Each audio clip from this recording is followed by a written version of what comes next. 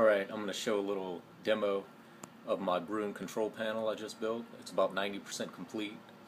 Alright, right here we got a little thermocouple uh, connector. This goes to my boil kettle. Alright, there it is. I just have it hooked up right now. I don't have it uh, any heat sources. It's capable of 240 volts. Um, 50 or 5,500 watt um, heating elements. And here's a little look at the bottom. I haven't hooked up the heating elements terminals yet. Here's a little demo of it though. Flip on my breaker. Okay, got the power going. And now the ignition.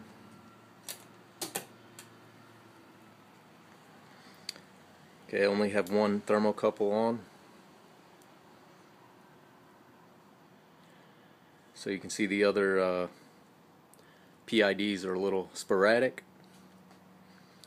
Okay, I've got pump lights, only one of them connected right now to a uh, lamp, and this would simulate a pump.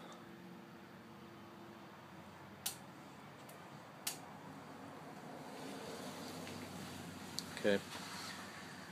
So the thermocouple's reading about 68 degrees right now. Or sorry, 60, uh, 64 degrees. Okay, it's set to heat at 68 and if we take a look inside we'll see a little light flashing on my solid state relay that's telling it to come on and off and you'd follow those lines down to my um, mechanical relay then to the fuses and then that's where I would send those out to the actual heating elements. But I haven't set that up yet. For a little while I'm just going to be brewing with the uh, you know just using the temperature sensors and timer. Um, here's a little look at the inside. There's the main power uh, relay. And this is all 50 amp so we got a lot of juice running through here. Here's a look at the back side of the term of the control panel. Okay, and then got my timers here set set for one minute and start and this would be my uh, hot liquor tank mash tun and boil kettle PID and I would only have I only have two heating elements or two kettles that would get hot and that would be my hot liquor tank and my boil kettle. And to switch between those or boil kettle turn them off. And again no power coming out of there because I don't have it connected all the way. My power light. In about 16 seconds, we'll hear a little alarm.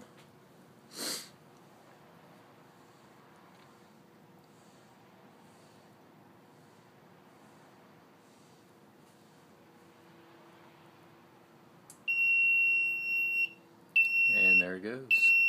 Got a little red light, little red flashing light for my alarm and it stops after 10 seconds or I can manually stop it.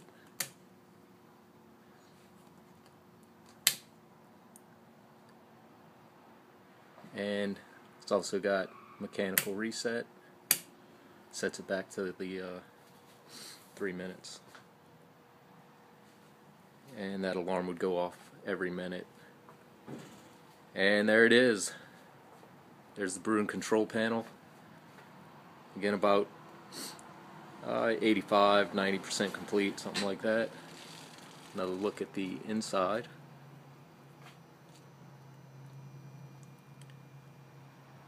Never crimped so many terminals in my life.